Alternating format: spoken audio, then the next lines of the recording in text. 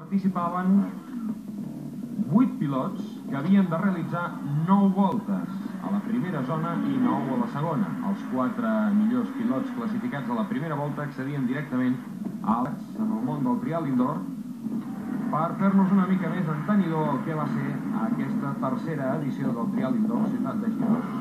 Aquest de Xavier Vilalta, pilot de Gas Gas. Pere Uller, bona tarda. Hola, bona tarda. Què podem dir d'aquest home que tenim en imatge, Xavier Vilalta? Un pilot fonamentalment molt jove.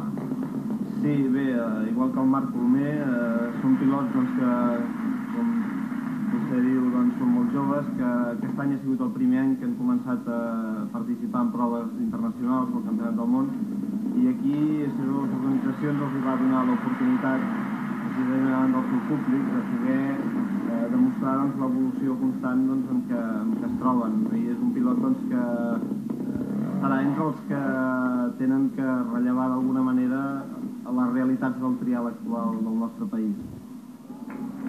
Estem veient Xavier Vilalta en aquesta zona número 2, la de les travesses, que, com l'anterior, ha significat una penalització de 5 punts per aquest pilot tan jove, Xavier Vilalta.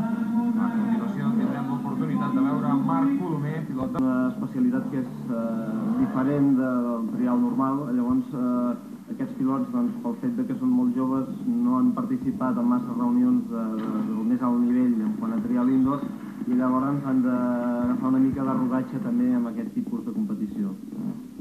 Aquesta zona que veiem és la número 3, la zona del Castell, una secció que va significar moltes dificultats per tots els pilots que van prendre part en aquesta cursa. Recordarem que l'ordre de sortida es va establir d'acord a la posició inversa en la darrera edició del Campionat del Món. Per entendre'ns, en primer lloc sortien els pilots pitjor classificats i a mesura que el trial anava avançant entraven en acció els homes que han protagonitzat una millor actuació en la darrera edició del Campionat Mundial de Trial. I tenim Vilalta, a la zona dels Rodets, ha entrat amb dificultats en aquesta secció. Aquí el tenim ara intentant superar la sortida assegurant amb els dos peus la sortida d'aquest primer escull que configurava aquesta zona dels rodets. Val a dir que les característiques d'aquest petit pavelló de Palau Sacosta van obligar l'organització a escurçar el nombre habitual de zones que es pot veure en un trial indoor. Normalment es marquen de 10 a 11 seccions, però a causa de les dimensions reduïdes de la pista d'aquest pavelló de Palau Sacosta, només es van poder marcar 9 zones moltes de les quals eren autèntiques novetats en quant a la seva concepció. Aquesta zona que estem veient, la dels Rodets, l'hem vist altres vegades en diferents trials indoor, però aquesta vegada presentava un disseny totalment diferent. Un 3, 16 punts Colomer, 18 Vilalta. Aquí tenim Vilalta, zona número 5, la zona de les llaunes de beguda. Assegura amb el peu esquerre, ha intentat treure la roda del davant d'aquesta escletxa que hi havia entre les dues primeres llaunes i com poden veure l'aspecte que presentava aquest, palau, aquest pavelló de Palau Sacosta era magnífic estava totalment ple de seguidors i és que ja és prou coneguda per tots la gran afició que hi ha a Girona pel món del motor. 5 punts de penalització per Xavier l'Alta 23 l'escor total d'Alta. Doncs per Marc Colomer ha salvat bé aquest peu, per bé que com veuen la roda ha caigut.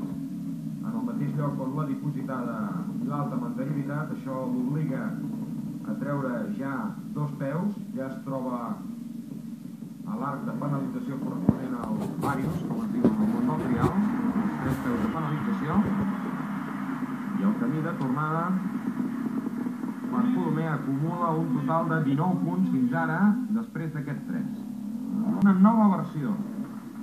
Sí, aquesta zona durant tot el trial doncs, hi van haver pocs pilots que la vagin a superar netament, sense deixar-hi cap punt de penalització.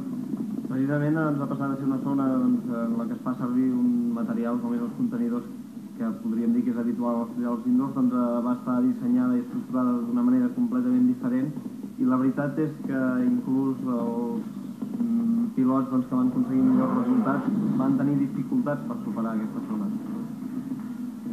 En aquest trial estava prevista la participació del pilot de Santa Cecília de Voltregà, Lluís Gallac, però finalment Lluís Gallac sembla que definitivament aquest no és el seu any i sembla que no s'acaba de recuperar d'aquesta lesió que l'està acompanyant durant els últims mesos.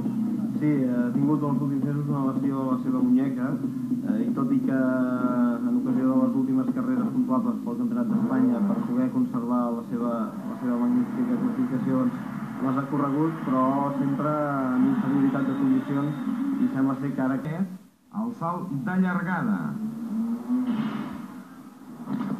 0 per Vilalta, tot i aquesta caiguda espectacular, 25 per tant, veiem la repetició del salt de Vilalta, s'ha descompensat una mica, ha carregat molt el ha pes. aixecat excessivament i per dir-ho d'alguna manera l'ha perdut i ha arribat doncs, al seu moment de contacte a terra amb la moto completament vertical. Veurem ara la zona de la cursa. Tots dos pilots estan empatats a 25 punts. Qui faci primer aquesta secció, qui arribi primer a la meta d'aquesta zona número 8, restarà un punt de l'acumulació realitzada fins al moment. Sembla que Vilalta té un lleuger avantatge, Colomer ha estat ràpid a l'hora de fer el gir, llença la tovallola Colomer, Vilalta que s'escapa i guanya Vilalta la secció, per tant doncs resta un punt, 24 per Vilalta, 25 per Colomer.